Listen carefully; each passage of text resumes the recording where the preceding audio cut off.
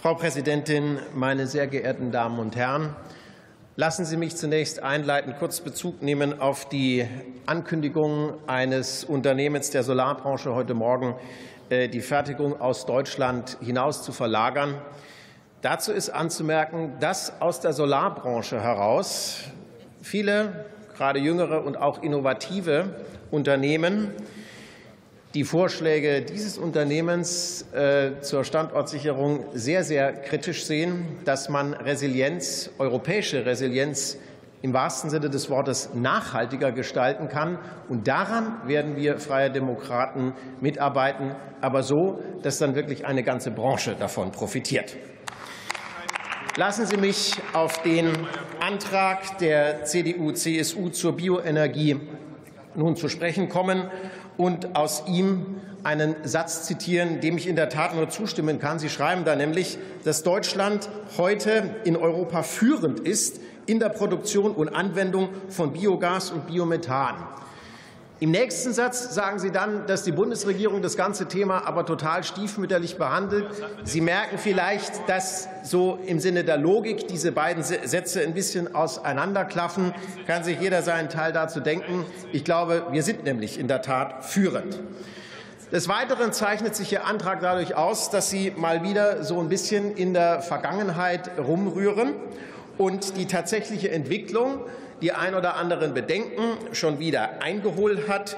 Ich darf noch mal daran erinnern, bei den Erlösabschöpfungen, bei den Maßnahmen, die wir unter Kriegsbedingungen hier ergriffen haben, um die Energiepreise für Betriebe und Privathaushalte im Land zu stabilisieren.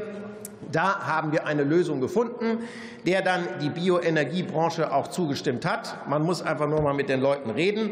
Ähm, dann kriegt man ein ganz gutes und auch äh, wahrhaftiges Feedback. Des Weiteren lassen Sie sich noch darüber aus, was angeblich im Gebäudeenergiegesetz für die Bioenergie alles schiefgegangen sei. Ich kann nur sagen, wir Freie Demokraten haben dafür gesorgt, dass es für Heizen mit Biomasse ganz großartige Perspektiven in diesem Lande gibt. Auch da empfiehlt es sich einfach mal mit Heizungsbauern Land auf, Land ab äh, zu sprechen, die mir mittlerweile sagen, hey, ihr habt mit dem Heizungsgesetz mit dem Wärmeplanungsgesetz und mit der Förderung jetzt ein Paket geschnürt, sodass wir wieder zu unseren Kundinnen und Kunden gehen können und in der Tat sie für die Lösung beraten können, die am besten zu ihrem Haus passt. Funktioniert also. Des Weiteren knüpfen Sie Ihre Aufforderungen an die Bundesregierung ja tatsächlich ähm, an äh, den Hinweis, es solle bitte alles im Rahmen der bestehenden Haushaltsmittel passieren. Das finde ich anerkennenswert, aber was dann folgt, passt damit schon wieder nicht zusammen. Sie sprechen sich beispielsweise für die Anhebung von Gebotshöchstwerten an, für zusätzliche Flexibilitätszuschläge und unter Umständen auch kostenträchtige Quotierungen. Genau diese Ansätze, genau diese Ansätze sind es, von denen wir mal fundamental wegkommen müssen. Warum? Weil sie gerade die Landwirtinnen und Landwirte, die in diesem Bereich tätig sind, genau in dem dauerhaft halten werden, wovon wir wegkommen wollen, nämlich in einer gängelhaften Übersteuerung.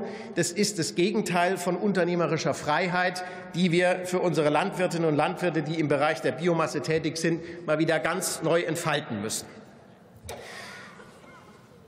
Wie wir das tun können, dazu will ich auch sagen, gibt es in Ihrem Antrag einige Ansätze, die in der Tat auch sehr diskussionswürdig sind. Also beispielsweise bei der Kraft-Wärme-Kopplung die Bioenergie noch mal stärker einzubinden. Ich finde auch den Hinweis interessant, Bioenergie in äh, die Carbon, äh, Carbon Capture Storage and Usage Strategien mal einzubinden. Da gibt es vielleicht auch ganz interessante technologische Ansätze und dass Sie auch dazu raten, äh, keine Nutzungskaskaden vorzuschreiben. Da kann ich aus Sicht der Freien Demokraten sagen, ja, gute Ansätze, aber lassen Sie uns das doch noch weiter denken. Wir müssen grundsätzlich mal wegkommen von diesen Förderungen, die vorwiegend auf Betriebskosten oder Ertragsunterstützungen abstellen. Investitionsförderungen sind das bessere Instrument. Und ganz kurz noch, ein paar Sekunden sind noch drauf. Lassen Sie uns auch daran gehen, die Kraftwerksstrategie so zu weiten, dass wir in einem klugen Design von Kapazitätsmärkten wirklich der Biomasse die Möglichkeiten eröffnen, die sie zweifellos hat. Und dann wird es auch ganz neue Ertragsmöglichkeiten für Landwirtinnen und Landwirte schaffen. Vielen Dank.